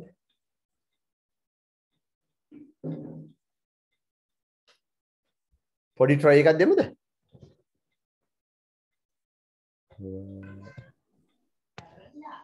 ප්‍රශ්නය අර මුල්ලම පොඩ්ඩල් ලියාගන්න බැරුණ අහන්න මොකක්ද කියල පොඩ්ඩක්? මං දැම්මං ඇහුවේ මේකේ අයිආරාර් එක එන්නේ කොළහයි දස මටයි හතරයිනේ. එතකොට මම ඇහුවේ මම කිව්වේ මේ ව්‍යාපෘතිය හදලා වාර්තාව. ඔයා යනවා බැංකුවට සල්ලි ගන්න. හරිද? මේ ව්‍යාපෘති වාර්තාව හදලා ඔයාගේ බැංකුවට දැන් ඔයාගේ ඇත්තේ සල්ලි නැහැ වාම බැංකුවට යනවා මේකෙන් සල්ලි ණයට ගන්න. මේ ව්‍යාපෘති කරන්න ලාභයක් ගන්න පිටන් තමයි යන්නේ.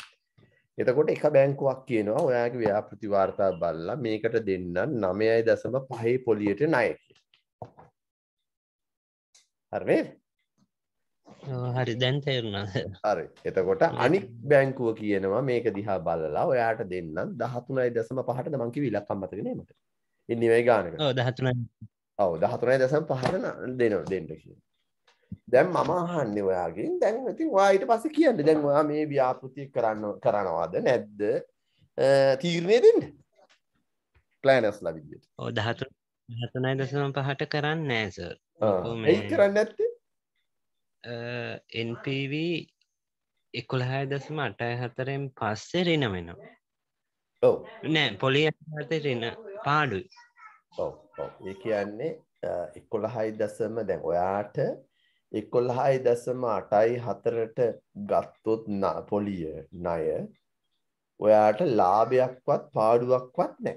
හරනේ NPV බිඳුව කියන්නේ. ඔව්. එතකොට ඔයා දහතුනයි දසම පහට ණයට ඇරගෙන එකොළහයි දස මටයි හතරක් නම් ලාභේ ඉන්නේ ඔයාට පාඩුයි අත උඩේ. ඒ හින්දා 13යි දශම පහට කවුරු හරි ණයට දෙන්න ඇහුවොත් මේ ව්‍යාපෘති අපි කරන්නේ නෑ. ඇයි කරන්නේ නැත්තේ? ඔයාට පාඩුවක් වෙන හින්දා. ඒ කියන්නේ 11.84යි හම්බ වෙන්නේ. ලාභ මේ මේ මේ අපිට ආදායම. අපිට හම්බ වෙන්නේ. නමුත් ඔයාලට 13යි ගාණක් ගෙවන්න ඕනේ. 13යි ගාණක් 11.84න් ගෙවන්න බෑනේ. ඒතර පාඩු වෙනවා. ඒ හින්දා අපි ඒක කරන්නේ නෑ. හැබැයි 9.5ට කළොත් එහෙම ඔයා ණය අරගෙන ඔයාට 9.5 ගෙවලා ඔයාට 11.8 කියන්නේ 100ට 2ක විතර ලාභයක් ගන්න පුළුවන්. 2.5 ගන්න. එතකොට 2.34ක් තියෙනවා. එතකොට ඒ කියන්නේ ඔයාට යම්කිසි ලාභයක් ගන්න පුළුවන්. හරි. හරි. ඒක තීරණවද අනික් යාළුවන්ට?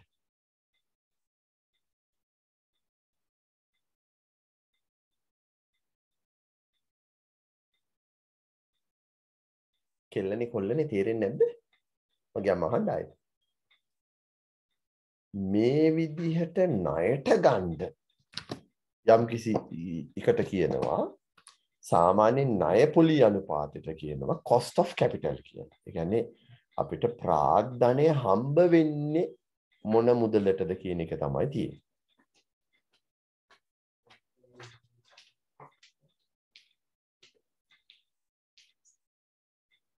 ඒක තේරුණාද? cost of capital කියලා. මම කිව්වේ ප්‍රාග්ධනය නැත්තම් ණයට හම්බෙන්නේ 9.5ක් කියලා කිව්ව එකක්. අනිත් එක කිව්වේ කීයද?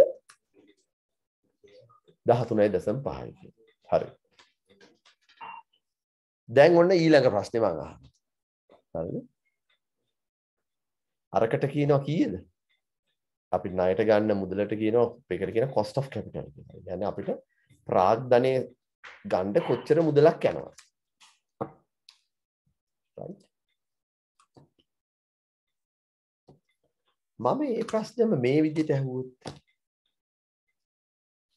ඔබ ඔයා හිතනවා දැන් මේ 11.84 කියන එකමයි ප්‍රශ්නය. ඕක තමයි දැන් අපිට ආපු උත්තරේ. දැන් මම මේකෙන් මෙහෙම ඔබ මේකෙදි ඔබට ණය ගැනීමේ අවශ්‍යතාවයක් නැහැ. ඒ කියන්නේ ඔබට මුදල් තියෙනවා ආයෝජනය කරන්න. ඔබ සතුව මුදල් තියෙනවා නම් ඒ කියන්නේ NP sorry IRR 11.94 නම් 9 කීයද 11.84යි sorry නම් යම් ව්‍යාපෘතියක් මේ ව්‍යාපෘතිය කරනවද නැද්ද කියලා ඔබ තීරණය කරන්නේ මොන සාධකයේ මතද? මම ආයෙත් ප්‍රශ්නය අහන්නේ. හිතන්න ඔයාට ලෝන් එකක් ගන්න ඕන නැහැ. ඔයාට අතේ සල්ලි තියෙනවා. ඉස්සෙල්ලා ලෝන් එකක් ගන්නකොට නම් අපි බලන්න එපා. ලෝන් එකේ මුදල අඩු වෙන්න ඕනේ. ওই ගානට වඩා. ඒක හරි. දැන් හිතන්න මේ දෙවෙනි අවස්ථාවේදී ඔබට ලෝන් එකක් ඕනේ ඔබට සල්ලි තියෙනවා අතේ. අපේ තියෙනවා. ඔබ සතු මුදල් තියෙනවා මේ ව්‍යාපෘතිය කරන්න. 11.84ක් මේ ව්‍යාපෘතියෙන් ලැබෙනවා රිටර්න් එක. දැන් එහෙමනම් ඔබ කියන්න ඔගොල්ලෝ කියන්න මේ ව්‍යාපෘතිය කරනවද නැද්ද කියලා තීරණය කරන්නේ කොහොමද කියලා. ඒ කියන්නේ දැන් ඔය දන්න 11.8.4 තියෙන ව්‍යාපෘතිය. ඔයාට කරනවද නැද්ද කියලා කවුරු හරි ඇහුවොත්. ඔයාට ලෝන් එකක් ගන්නත් ඕනේ නැත්තම් ඔයා ඒක තීරණය කරන්නේ මොන සාධක මතද? මගේ මේ ප්‍රශ්නේ තේරුණාද කියන්නකෝ. ඉස්සෙල්ලාම උත්තරේ කෙසේ වෙතත්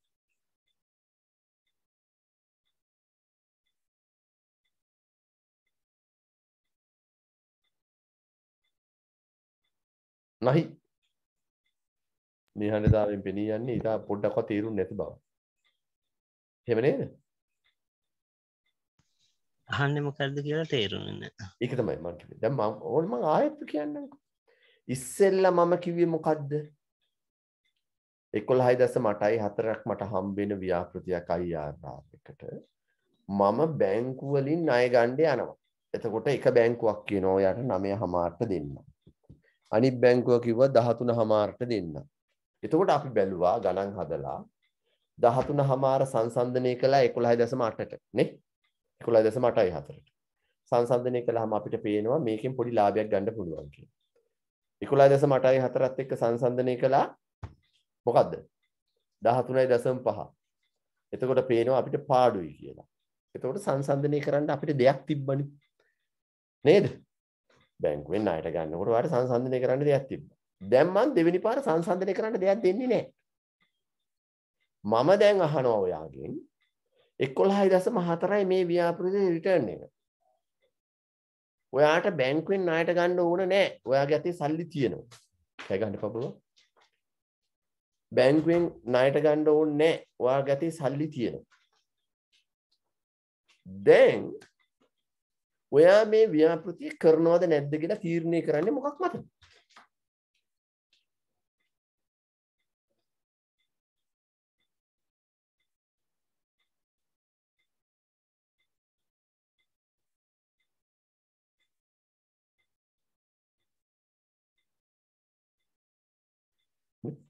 නැත්තම් ඔයා මේ ව්‍යාපෘති කරනවා නැත්තම් නොකර ඉන්නවා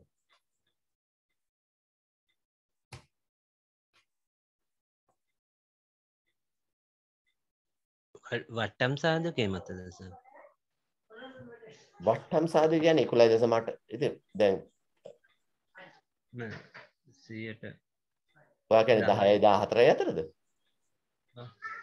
නෑ දැන් ඒව හිතන්න ඕනේ ඒව හදලා ඉවරයි ඔක්කොම. වෙළඳපොළ මූල්‍ය අනුපාතය මත වෙළඳපොළ මූල්‍ය අනුපාතය මත ඒ කියන්නේ තව ටිකක් පැහැදිලි කරලා කියන්නකෝ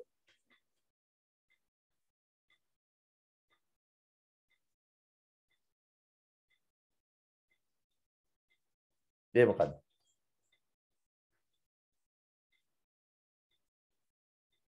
ඔයාගේ උත්තරේ හරි. උත්තරේ හරි. චූට තව පැහැදිලි කරලා දෙන්න.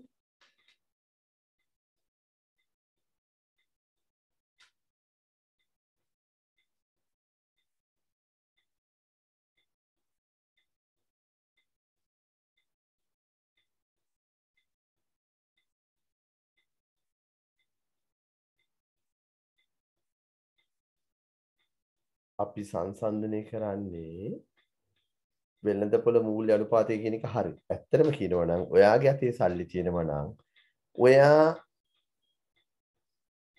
ඒ සල්ලි ටික ව්‍යාපාරයේ යෙදුවේ නැත්තම් මොකද කරන්නේ? බැංකුවේ දානවනේ. හරි නේද? එතකොට බැංකුවටත් වඩා මේක හරියටම ගල්ලෙන් හදලා බැලුවොත් රිස්ක් එක අඩුම ආයෝජනයට තමයි කියන්නේ භාණ්ඩාගාර බිල්පත් කියලා. අහලා තියෙනව නේද ඔයගොල්ලෝ?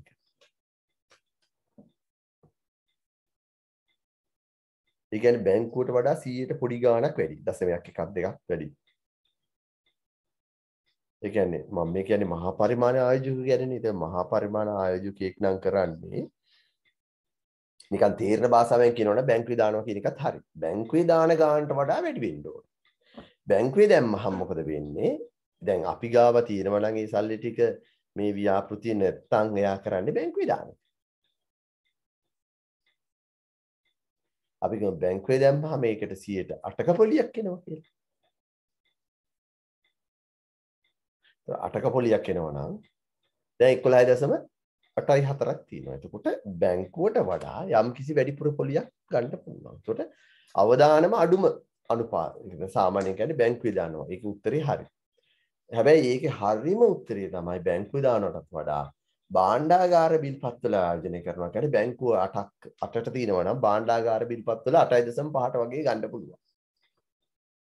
චූටක් භාණ්ඩාගාර බිල්පත් වල පොලි අනුපාතිකයේ වැඩි බැංකුවට වඩා. වාණිජ බැංකුවට වඩා. එතකොට අපි ණයට ගන්නේ නැත්නම් අපි කරන්නේ ඒක ආයෝජනය කරනවා වෙන විදිහකට. ආයෝජනය කරනවා නම් ලේසිම ආයෝජනය තමයි කිසිම රිස්ක් එකක් නැති එක තමයි බැංකුවේ දාන එක හෝ භාණ්ඩාගාර බිල්පත් වල දාන එක.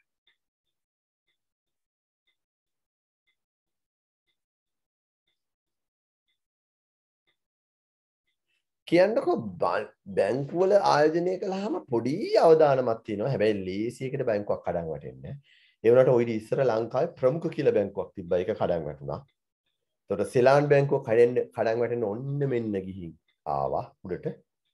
සම්පත් බැංකුව එකපාරක් කඩන් වැටෙන්න ඔන්න මෙන්න ගිහින් ආවා. දැනුත් සම්පත් බැංකුව මේ මට්ටමේ තියෙන්නේ. එතකොට එහෙම තියෙනවා. දැන් ලංකාවේ තියෙන ඔක්කොම බැංකු ටික තියෙන්නේ බොහොම නිකන් අමාරු මට්ටමක. හැබැයි භාණ්ඩාගාර බිල්පත්වල කිසිම රිස්ක් එකක් නැහැ කියලා කියනවා. ඔයාලට කියන්න පුළුවන්ද ඒ ඇයි එහෙම කියන්නේ කියලා? භාණ්ඩාගාර බිල්පත්වල කිසිම රිස්ක් එකක් නැහැ කියනවා ආයෝජනය කරන එක බැංකුවල පොඩි රිස්ක් එකක් තියෙනවා කියනවා. මං අහන්නේ ඇයි එහෙම කියන්නේ?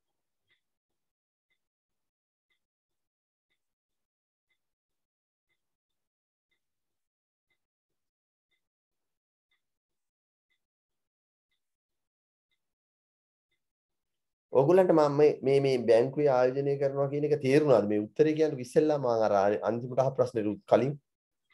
ඈ පුතා තේරුණාද? තමන් ගාව සල්ලි තියෙනකොට ඒක සංසන්දනය කරන්නේ බැංකු පොලි අනුපාතය එහෙම නැත්නම් භාණ්ඩාගාර පොලි භාණ්ඩාගාර බිල්පත්වල පොලි අනුපාතය කියන එක තේරුණාද? තේරුණා. තේරුණා. මොකද ඇයි? තමන් ගාව තියෙනවනම් අපි කරන්නේ ඒකනේ. බැංකුවේ දානවනේ එහෙම නැත්නම් ඇත්තට බැංකුවේ දාන එක ගේ පොඩි රිස්ක එකක් තියෙනවා කියලා කියනවා සාමාන්‍ය බැංකුවේ සාමාන්‍ය ලොකු බැංකුවල ලොකු රිස්ක එකක් නැහැ. හැබැයි ඔය මූල්‍ය සමාගම් වල දානකොට රිස්ක එකක් තියෙනවා. ඒ කියන්නේ කොහොමද? ෆිනෑන්ස් කම්පැනිස් වල. ඒවැ දානකොට පොඩි රිස්ක එකක් තියෙනවා. බැංකුවල එච්චර රිස්ක එකක් නැහැ. හැබැයි කලාතුරකින් බැංකුවක් දෙකක් කඩාම වැටෙන්න පුළුවන්. ඇමරිකාවේ එහෙම කඩාම වැටලා තියෙනවා බැංකුව. නමුත් මම දැන් ඊළඟට අහන එක තමයි බැංකුවල නැතුව භාණ්ඩාගාර බැඳුම් කරගෙන දැම්මොත් කියනවා රිස්ක් එක බිඳුවයි කිය. එහෙම කියනවා කට කතාවට. මං අහන්නේ ඇයි එහෙම කියන්නේ? භාණ්ඩාගාර බැඳුම් කරවල දැම්මොත් රිස්ක් එක බිඳුවයි කියලා කියනවා.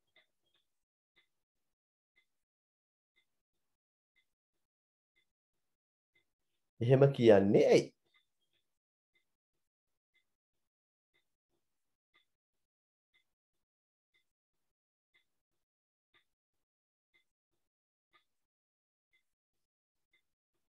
ඒකත් එහෙනම් ලියා ගන්න දන්නේ නැත්නම් භාණ්ඩාගාරයට සල්ලි නැති වුණොත් භාණ්ඩාගාරයට පුළුවන් මුදල් අච්චු ගහලා දෙන්න. බැංකුවකට බෑනේ. දැන් බැසිල් මහත්තයා කරන්නේ මුදල් අච්චු ගන්න වැඩේ මේ දවස්වල නේද? තියාගේ රස්සාව ඒකනේ. මොකද වෙන්නේ? අපි කිව්ම අපි දැම්ම ඔයා හිතන්න ඔයා රුපියල් ලක්ෂ 10ක් භාණ්ඩාගාර බැඳුම් කරවල දැම්මා. සෙන්ට්‍රල් බැංක් එකට සල්ලි නැහැ. සල්ලි නැත්තම් එයාලා මොකද කරන්නේ? එයාලා අච්චු ගහලා දෙනවා ඔයාට. ඒ හින්දා ඔයාගේ මුදල මුදලේ වටිනාකම කෙලවෙලා යන්න පුළුවන් අච්චු ගහනකොට මිල මිල බහිනවනේ වටිනාකම අඩු වෙනවා. ඒ වුණාට ඔයා රුපියල් ලක්ෂය දුන්නොත් ඔයා රුපියල් ලක්ෂයට ගැලපෙන පොලියත් එක්ක ඔයාට රුපියල් ලක්ෂ දෙන්න පුළුවන්. ඒ කියන්නේ කොහොමද කියන්නේ?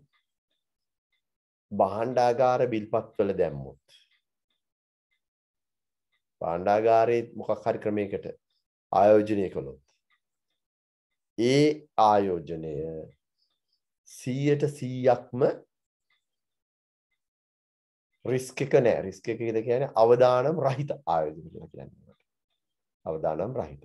ඒ අවදානම් රහිත වෙන්න හේතුව තමයි යම් කිසි හේතුවකින් රටක මූල්‍ය වෙළඳපොළ කඩන් වැටිලා විනාශ වුණත් රජයට පුළුවන් මුදල් අච්චු ගහලා ඒ ආයෝජකයන්ට ගෙවන්න. මුදල් අච්චු ගහන ගහන්න පුළුවන් හොර සල්ලි නොවන විදිහට. දැන් අපි ඔයාලා ඔයා අපි වගේ කට්ටියටත් මුදල් අච්චු ගහන්න පුළුවන්. ඔයා අපි දෙන්නගෙන් කවුරු හරි මුදල් අච්චු ගැහුවොත් වෙන්නේ අපි මේ මොනවද කියන්නේ? අපි හිරේ දාන.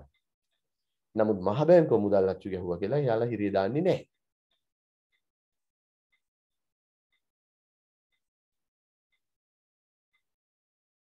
එතකොට එයාලට පුළුවන් ඕනනම් මුදල් අච්චු ගහලා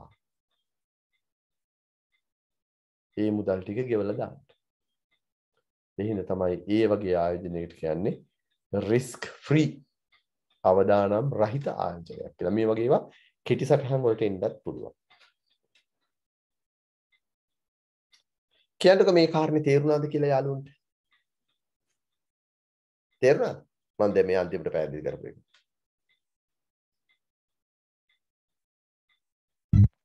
භාණ්ඩාගාර බිල්පත් භාණ්ඩාගාර බැඳුම් කර වගේ වෙයි ආයෝජනයේ රිස්ක් එක නෑ කියලා කියන්න පුතා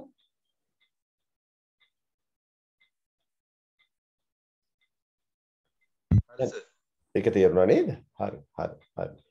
එතකොට අද ටිකක් කරපු පාඩම් ටික චූටක් සැර වැඩි. හරිද? මම හින්දා තව වැඩිය කරන්නේ නැහැ කියලා මම හිතුවා දැන් නවත්තනවා කියලා. මොකවත් හින්දා නෙමෙයි මේ ටිකක් මේක බරපතල වැඩි හින්දා. ඊළඟට මම ඊළඟ දවසේ තව තියෙනවා තීර කැලි ටිකක්. තව දෙක තුනක් තියෙනවා. ඊට පස්සේ ඒ තීර ටික දීලා තව ගානක් දෙකකුත් හදලා අපි කරමු. මොකද දැන් ගොඩක් කළොත් අර මේ ඔයාලට තේරෙනව නේද ටිකක් අර මේ මේ මොකද ඔළුවට දරන්න අමාරුයි. දරන්න අමාරුයි කියන්නේ උගුල්ලු නේද? ඒ හින්දා අද අපි නවත්තමු හරිද? මම ඊළඟ දවසේ මම චුට්ටක් මේක පැහැදිලි කරලා මේක අපි අපි කරපු වැඩ ටික. දැන් ඔයාලා ආයෙ පාරක් මේ ටික ආයෙ පාරක් හදන්න මේ ගණන් කීපේ. ආයෙ මේක ලියන්න. තව කොලයක් අරගෙන. මුලින් ඉඳන් මුලින් ඉඳන් හදන්න තව පාරක්. එතකොට මීට වඩා හොඳට තේරෙයි. ඊළඟ දවසේ එනකොට අනිවාර්යයෙන්ම මේක එක සැරයක් හදන්න ඕනේ. හදන්න නැතුව හරි අමාරුයි මේක එක පාට නිකන් කියලා දුන්නට ඒ වෙලාවේ තේරුණාට ඒක එහෙම වැටෙන්නේ නැහැ.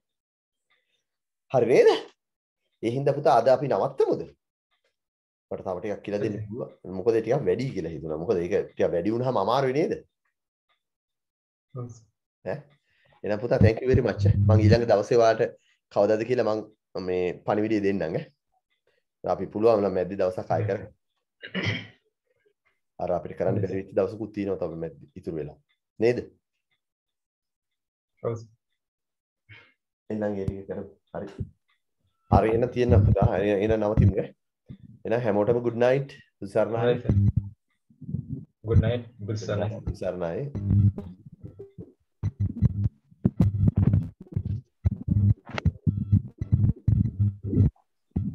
Good night.